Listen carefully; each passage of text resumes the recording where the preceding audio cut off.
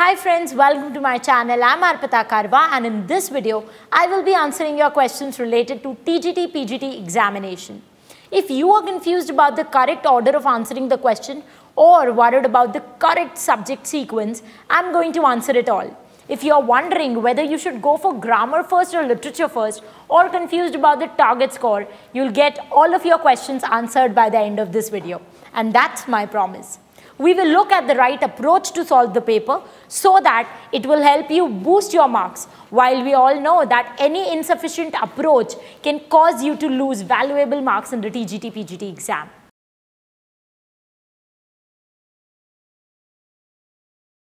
If you are new to this channel, then please hit the subscribe button and press the bell icon so that you never miss an update.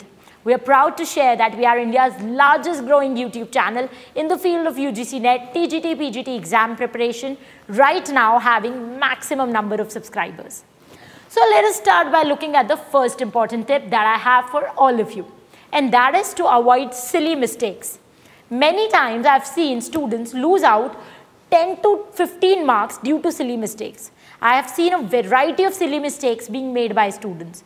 In numerical question, they sometimes note down the wrong digit while solving the question. On the other hand, some students mark the wrong answer in OMR sheet, even when they know the correct answer and they have seen that in the question paper. Hence, you need to be extra cautious regarding the silly mistakes. Whenever you mark an answer, please recheck the question number. The answer you have chosen and the answer you've marked in the OMR sheet should be the same. Most of the silly mistakes happen when you try to quickly solve the questions out of the fear of losing time. In such haste, many times you do not read the question correctly and miss out on the important words such as except, not correct. These words, if not paid attention to, can change the direction of uh, your answer. For example, which amongst the following is not a play written by John Galsworthy? And you have four options you did not read the word not in the question and you end up picking the play you are most familiar with that is Justice because in your head John Galsworthy's play is Justice but you did not read the other options. It will only be later that you'll realize that the other options were also plays written by John Galsworthy and the question inquired for which was not written by John Galsworthy. So it is very important to read the questions carefully. Make sure you understand the question well, read it twice and carefully read the options too. Another important thing is to always attempt the question in one go. Do not take an approach where you revisit a question again and again and keep on changing your answers every time you revisit the question. Instead, take 30 seconds, patiently read the question, all the options, mark it and then move ahead. Hence, to summarize this first tip, double check the question while reading it, double check your answers before entering them in the OMR and be aware of any potential silly mistake.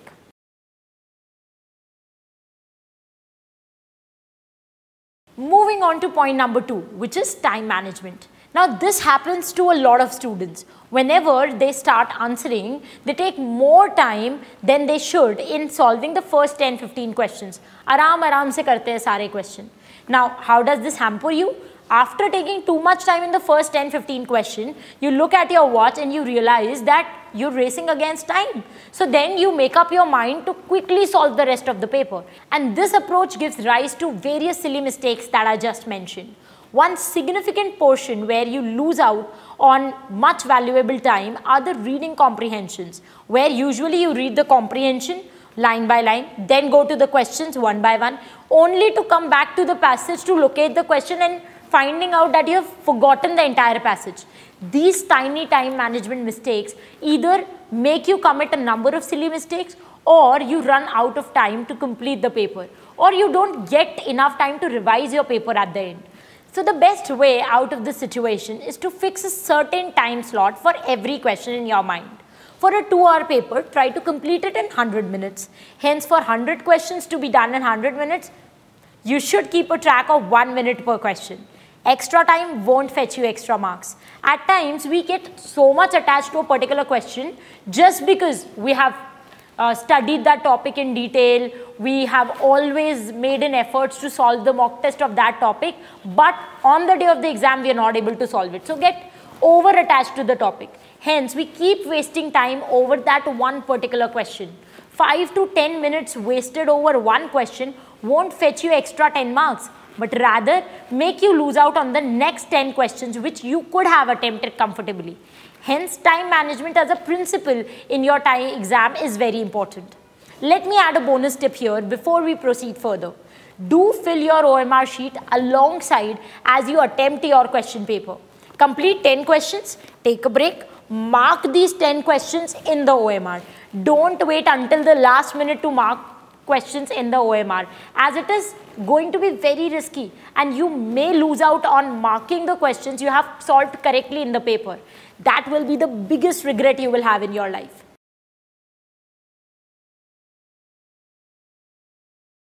Before we move on to the next point, here's something I want to share. If you are preparing for TGT PGT English exam, then I have an amazing news for you. We have just released separate video course for TGT PGT exams.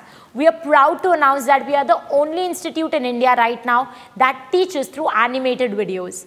Our videos are designed using 3D graphics and animation which enhances the visual memory of the students so that they are able to retain the complicated summaries of novels, plays and poems very easily and recall it effectively during the exam. In our online course, we provide you with topic-wise video lectures with rich animation covering all topics in a step-by-step -step manner, which works even when you have not done any previous preparation. We also provide you with high quality PDFs and revision notes that cover the entire syllabus topics comprehensively and ensure that you qualify your dream exam in just one attempt. Along with video lectures and PDF, we also offer test series that consist of more than 3000 questions that comes with detailed explanation, segregated unit-wise. Plus, after every test, you get a detailed performance report and your ranking in All India Leaderboard, which will help you to spot your weak and strong areas. We cover all important topics, writers and works in our online course for TGT PGT examination. The detailed list of all these writers that are covered in our online course is available free of cost on our website arpitakarwa.com. You can even download this free list and start preparing for your exam by yourself. If you are looking for past year papers of TGT PGT examination, then I invite you to visit our website right now. We have provided past 10 years TGT, PGT exam papers free of cost on our website. You can simply go, check out the paper, check out the answer key, download it and start your preparation right away. The link of our website and all our courses are given in the description box below. You can check out the course details from our website, even watch a free demo lecture, attempt a free demo mock test before you decide to enroll in our course. For more information related to the courses we offer, feel free to shoot your queries on WhatsApp number displayed on your screen right now. And me and my team will be more than happy to assist you.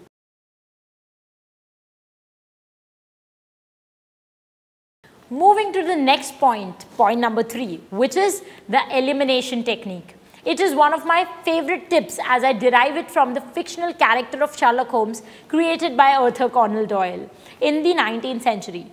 So Doyle in his work, The Case Book of Sherlock Holmes, says a very famous line, and I quote, when you have eliminated all which is possible, whatever remains, however improbable, must be the truth. You can apply these words to the four options that you get in the paper.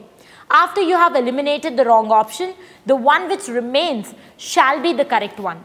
Hence, whenever you are confused between two options, use the elimination technique to solve the question. Rather than being underconfident and taking a shot in the dark, the elimination technique will come handy as a smart guesswork and make your answer more probable.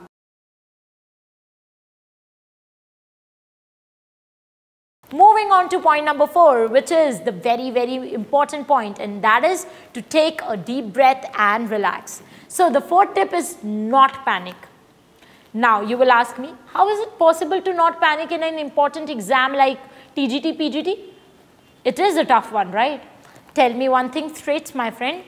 Even if you panic, what is the guarantee that you will clear the exam? So just remember, do not panic if you fail to attempt a few questions. Your sole focus should be on attempting the paper in front of you and not think about which questions are going to be correct or incorrect. You will have ample time to think about these things once you leave the exam hall. So do keep in mind that examination is not demanding 200 out of 200 score from you or 100 out of 100 score from you. The cutoff generally hovers around 70% which is 140 marks out of 200. Hence, even if some of your questions are marked incorrectly and you realize that while attempting the paper, do not panic. You just need to clear the cutoff and a few incorrect questions won't make a huge difference. As you know, there will always be 10 to 15 questions in your TGT PGT exam which you'll have no clue about. But that is how the paper is set. No matter how much you have studied or how many attempts you have had, there will be few 10-15 questions which will always be a surprise for you. So don't fall into the trap of attempting all questions. However, you must attempt it entirely if there is no negative marking. But what you should not do is to think about previous questions you just attempted and waste your time thinking whether it was correct or not correct. Just focus on the question that is displayed in front of you.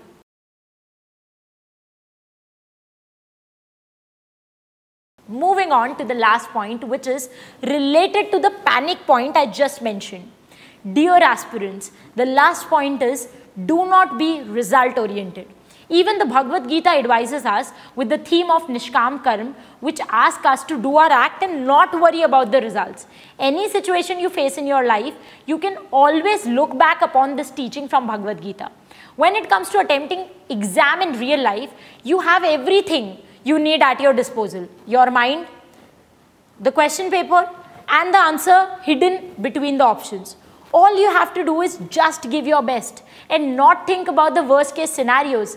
Even if God forbid the worst case scenario actualizes and you fail in the exam, always remember that your life does not end there.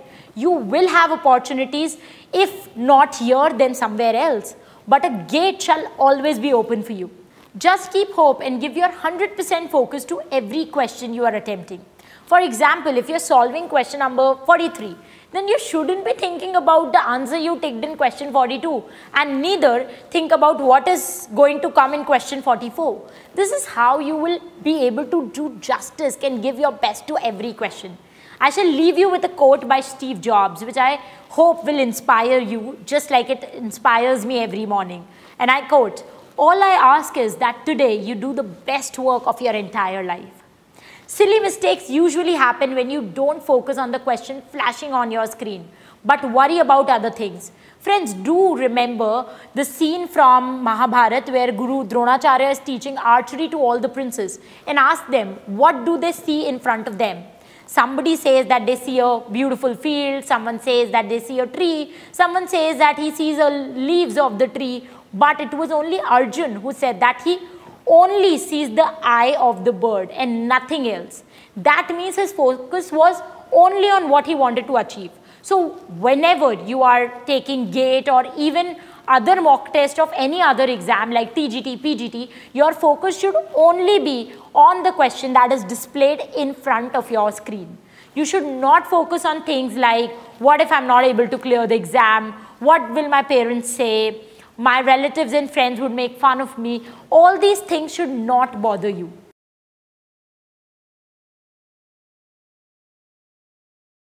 If you found this video helpful, then please like this video by giving it a big fan thumbs up and also share it with other fellow aspirants who are struggling with similar kind of questions. I'm quite eager to know how you felt about this video. Did you like it, not like it? Did you find it helpful?